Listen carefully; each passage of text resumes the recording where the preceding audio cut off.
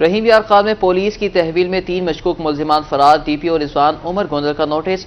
A S I समेत तीन एहलकार को मुतल कर दिया है। एस पी हेडक्वार्टर को मामले की तहकीकत के लिए इंक्वायरी ऑफिसर मुकर कर दिया।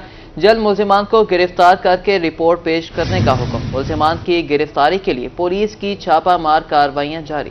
कार्रवाइयाँ जारी है। रहीमिया खान में पुलिस की तहवील से तीन मशकूक मुलजमान फरार हो गए।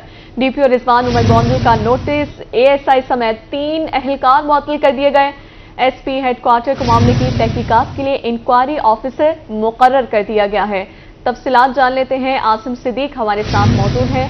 आसिम, बताइएगा किस तरह ये तीन मशकूक मुलजमान जो है फरार हुए देखिए खान का नवाही इलाका है, थाना शतानी। वहाँ की चौकी बंगली, जो दरियाई पट्टी पर मुश्तमल है, वहाँ से तीन जो मशकूक मुलजमान है वहाँ पर फरार हुए हैं।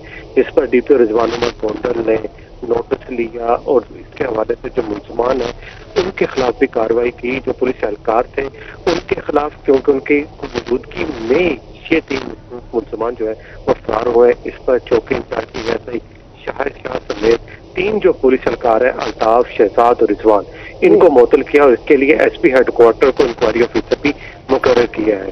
डीएसपी जाकरपुर और एसएचओ शदानी को मुलजमान की गिरफ्तारी के हवाले से भी अहकाम दिए गए हैं उनको रिपोर्ट लाने का भी कहा गया है। क्योंकि पुलिस टीम जो है इस वक्त मुलजमान की गिरफ्तारी के लिए छापे तो मार रही है मगर इसके साथ साथ जो पुलिस एहलकार है उनके खिलाफ भी कार्रवाई अमल में लाई जा रही है। ठीक है कार्रवाई अमल में लाई जा रही है। आसिम सदीक हमें अपडेट करे थे बहुत शुक्रिया आपका।